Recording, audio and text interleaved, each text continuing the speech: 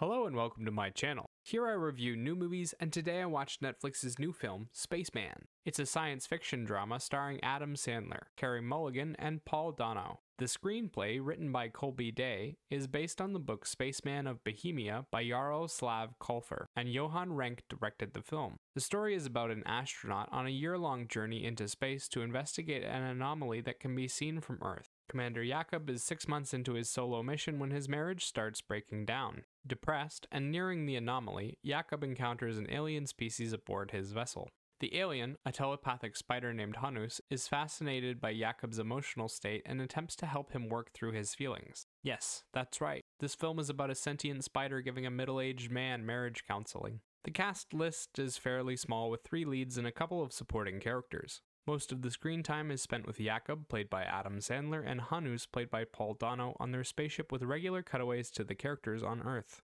Most of the screen time on Earth is spent with Lenka, Jakob's wife, who is played by Carey Mulligan.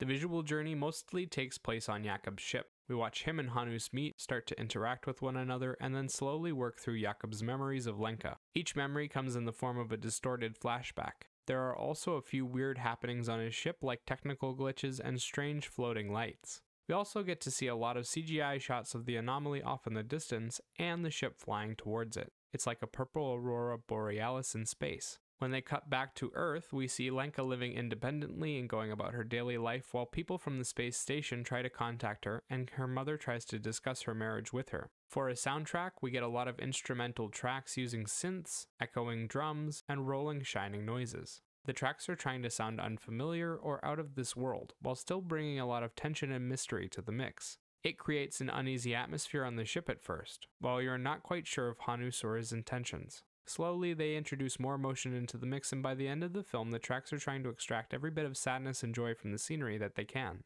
Okay, now for the review. The story as a whole isn't that exciting, but it does have some touching moments within it and a fascinating premise to play off of. The entire journey is spent delving into the psyche of Jakob and his relationship with Lenka. Through that exploration, the film presents a few valuable life lessons. There are also a few sweet moments during the friendship between Jakob and Hanus where Jakob shares his culture, food, and comfort with him. They don't dive too deeply into any one memory, but do a good job of explaining why Jakob and Lenka are struggling and what they need to do to fix it. The one downside is that they never really explain what Hanus is or explore anything to do with his past. Cast wise, there isn't much to the film. The general cast is called to do some basic emotions and partake in a few conversations. At the same time, the leads are called on to give a lot of emotive performances as they move about their spaces. We see lots of shots of Adam Sandler contemplating the universe, reacting to the memories he's having, and trying to deal with the sudden appearance of an alien aboard his ship. Sandler goes through many emotions over the journey, but the performance ends up feeling a little muted despite it.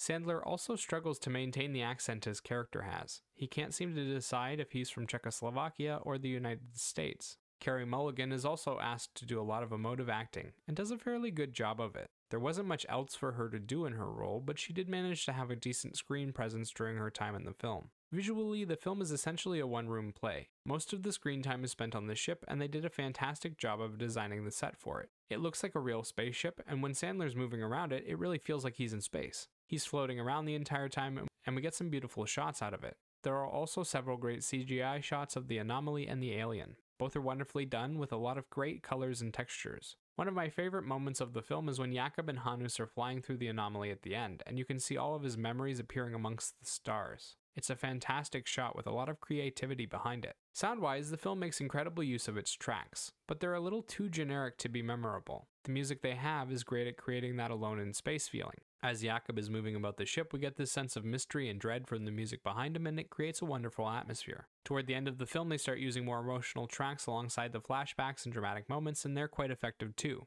They make you feel for the characters and experience the heights of their pain and happiness. The music, however, was a little too simple and generic to be memorable. There are no lyrics, this is the kind of music you'd expect from a sci fi, and the music often accompanies some trippy visuals that it has to compete with for prominence. Overall, Spaceman is an interesting film with a decent visual journey, some okay acting, and a solid soundtrack. If you're looking for something a little different and you don't mind introspective character journeys, then give this one a try.